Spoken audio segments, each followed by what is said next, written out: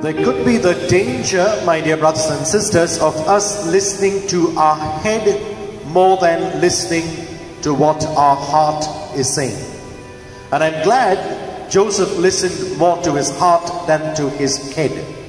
Because we might want to do the right thing, which is obvious in every situation, but beyond the right thing is what we should do out of love.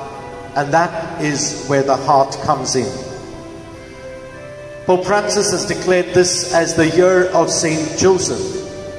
And it's very touching and amazing to see in some of our churches huge statues on display right through this year of the sleeping Saint Joseph. Not a very, very common sight. But it's beautiful because I think most of his inspiration came in that particular state when the angel would appear to him and speak to him and communicate God's mind.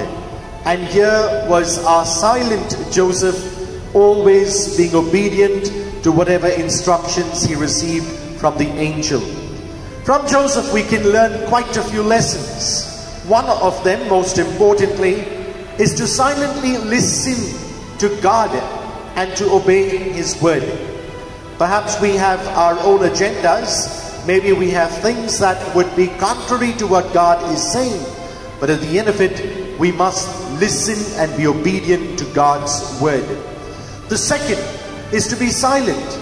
We don't really have a single spoken word of Joseph in the Gospels. But yet, we know silently he did what he had to do. And therefore, Joseph was never really in the limelight at any point of time. Perhaps we need to control our own tongues. Maybe we need to also control the fact that we want to be always being acknowledged and given prominence. And thirdly, Joseph was always in the background, never really taking a prominent place. My dear brothers and sisters, as we celebrate this beautiful year of Saint Joseph, let's pick up from time to time some of the beautiful qualities that we find in this simple and humble man. And maybe each one of us can also be a Joseph to God and to those around us.